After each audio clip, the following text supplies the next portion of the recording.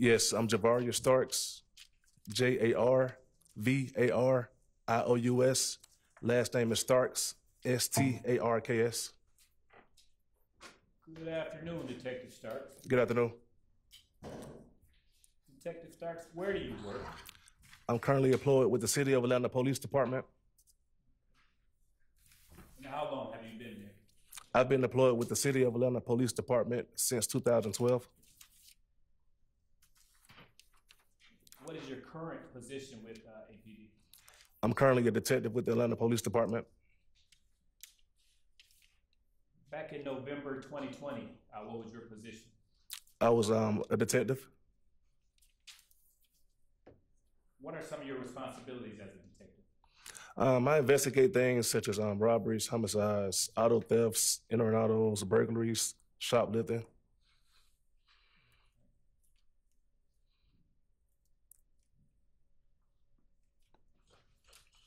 And are you post certified? I am. And have you maintained that post certification throughout your career? I have. I want to turn your attention to uh, November 24th, 2020. Now, did you respond to a call at 4275 Walton Crossings, apartment 3216? Yes, sir, I did. And is that location in Fulton County? Yes, sir. And what is this location? Is it apartment, business? What is it? It's an apartment complex. And was it a one or two bedroom apartment that you responded to? I believe it was a one bedroom, um, one bathroom.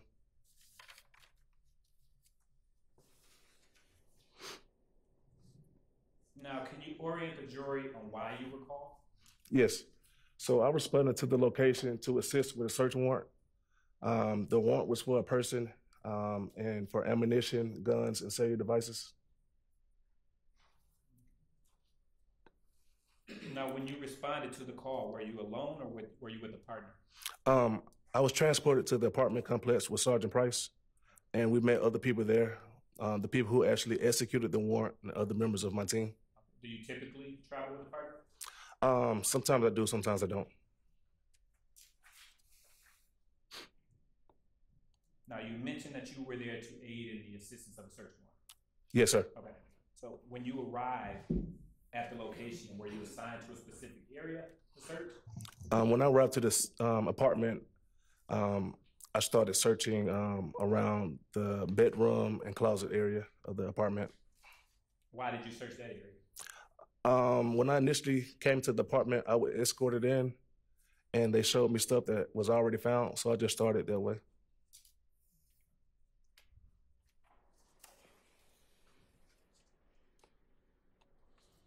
Did you find anything in the uh, bedroom? Yes, sir. And what did you find? In the closet, um, I found a rifle.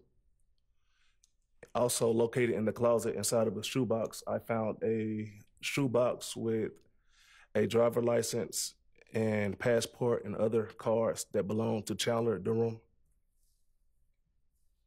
Do you know, uh, do you know who the residence was of this apartment complex? Or Um, I, um, I believe it was a female. I don't remember her name.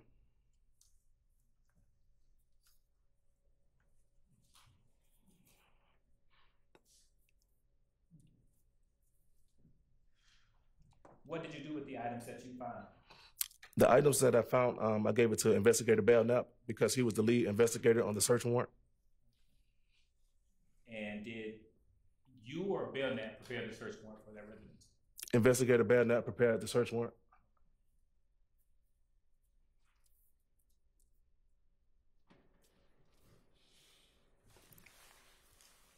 Did you prepare a report in this case? No, sir, I did not.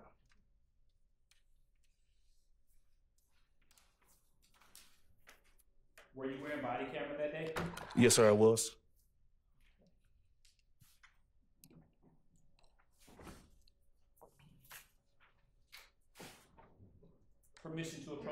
You may. I'm now showing you what's been pre-marked as six, three paw paw and four paw paw. Take a look at those.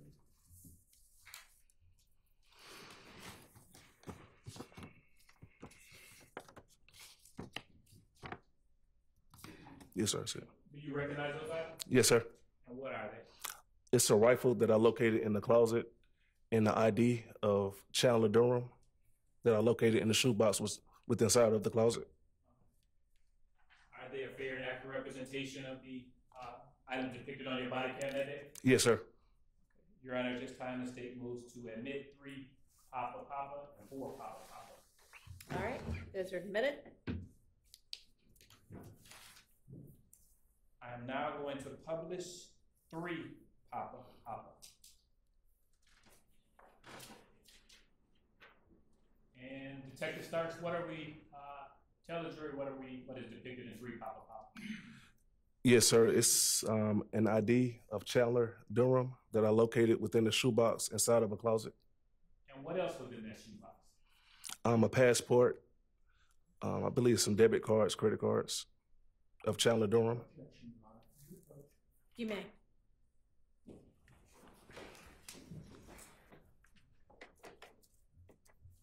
Detective Starks, um, that ID, what, what was the name on that ID? I believe it was Chandler Durham. Or And what else did you locate or find in that shoebox? it was a passport, and I believe some debit cards. And did those items bear the name Chandler Durham as well? Yes. I'm now going to publish three, I'm sorry, four Papa Papa. And Detective Starks, what are we, uh, tell the jury, what are we looking at here? Yes, sir. We're looking at a rifle that was located inside of the apartment closet. And where was this? I know it was in the closet, but where was this located? on the shelf, I believe, inside the bedroom closet.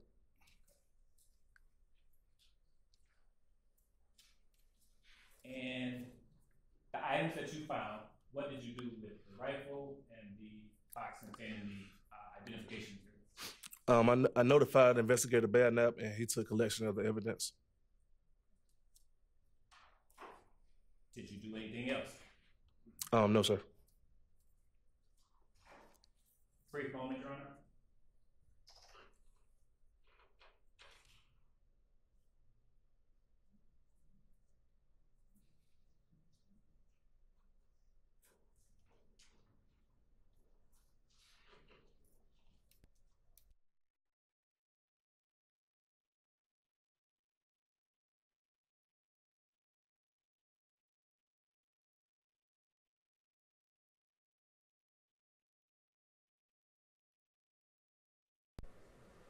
No further questions at this time, Your Honor.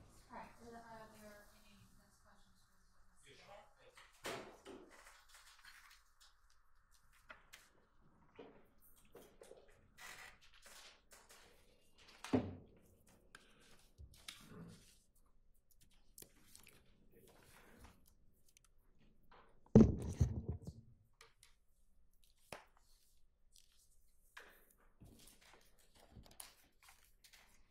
Detective Starks, good afternoon, sir. Good afternoon. How you doing, sir? I'm good. My name is Carrington Matthews, and I represent Mr. Marquavius Huey in these proceedings. Yes, sir. You have been a police officer with Atlanta Police Department since 2012, Yes, sir.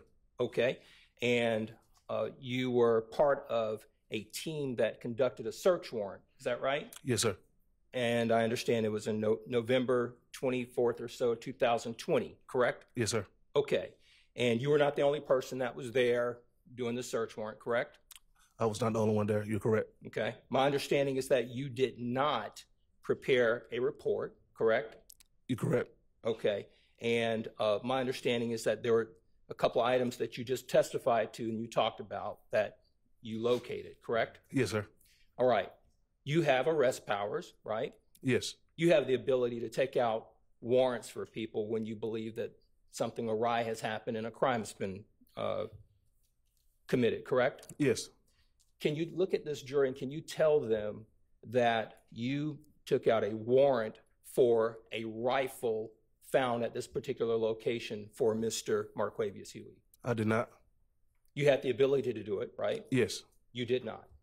You're correct, sir. Okay. Let's talk about the items in the shoebox. Uh, the items that you just talked about, you're not aware of any of those items that we just talked about being the result of any crimes that you took out a warrant for on November 24, 2020 for Mr. Marquavius Huey? I did not take out any warrants dealing with the apartments or contacts in, in the apartments. You had the ability to take out a warrant if you believe uh, that a crime had occurred with respect to these uh, items that were located in a shoebox, correct? Yes, sir. Now, this was November 24th or so, 2020. Um, Did you take out any warrants in 2021 for these items that you just talked about? No, Did you take out a warrant or anything of that nature in 2022 for the items that you just talked about? no,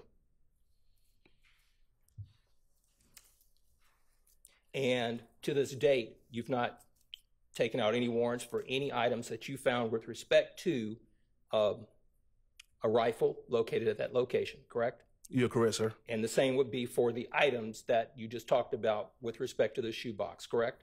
You're correct. Okay.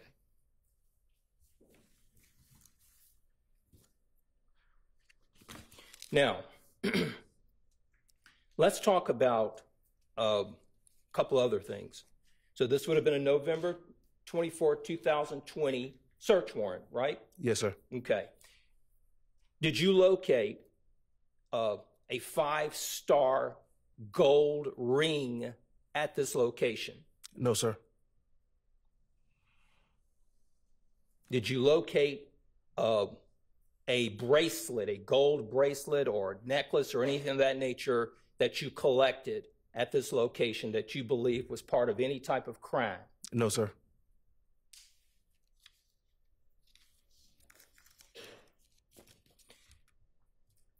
Let's talk about, I think in the, in the search warrant, uh, Detective, you talked about uh, a need or desire to look for cellular phone uh, information at that location, correct? Yes. All right. Did you locate any cellular phone that would belong to anyone that would be the name Gary Holloman, I located the cell phone on the couch right? and I turned it to Investigator Belknap. Um, that's that's as far as I went with the cell phone. I didn't try to find the owner of the cell phone. Okay. So there's one cell phone that you said you found. Uh, to your knowledge, as you sit here today and you look at this jury, you have no knowledge or information that a cell phone belonged to a Gary Holloman, correct? I found the cell phone on the couch. I don't know who it belonged to. Okay. And I turned it over to Investigator Belknap. You have no information or evidence that any cell phone was uh, found owning belonging to a Domitia Coppage, correct? You're correct. I don't know. I don't know who the cell phone belonged to. Okay.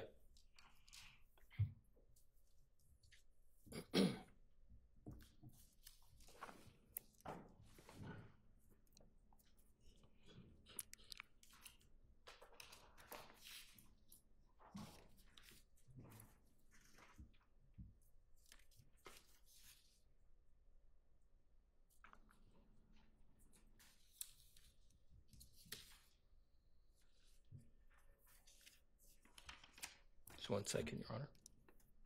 Beg the court's indulgence.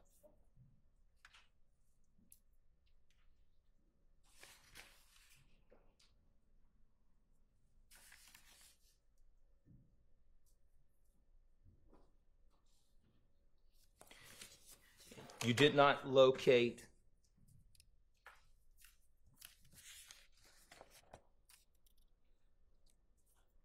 strike that.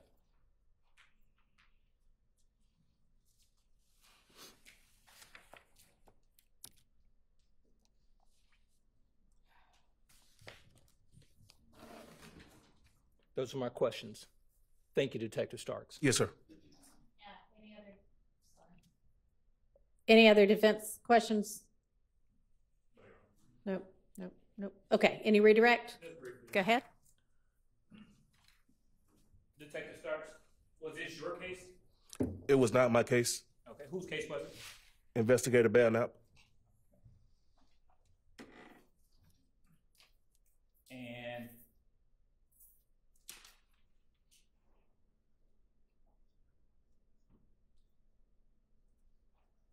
for a search warrant to be valid, does it have to contain information that the evidence of a crime is likely to be found? Sustained. What does a search warrant have to contain um, in order for it to be, or in order for it to contain evidence that information strike that. Let me ask a better question. What does a search warrant have to contain?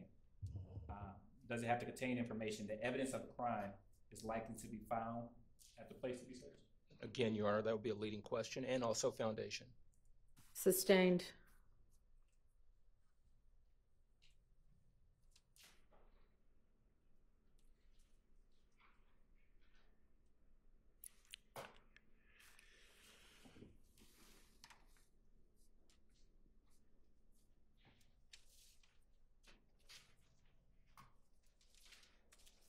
Detective Starks, did you prepare the search warrant in this case?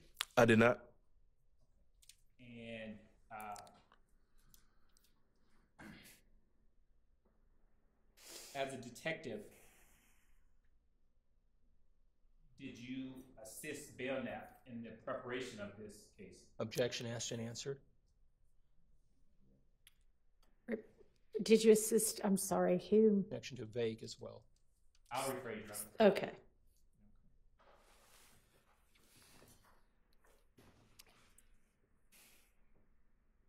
What additional steps did you take in the execution of this search warrant? Um, the execution of the search warrant, I searched. Um, Your Honor, I'm going to object. It's been asked and answered. Additional steps. I don't know about additional steps overruled. You may ask. um, I searched and um, I advised um, Investigator Belknap of my findings inside the apartment. Court's indulgence, Your Honor.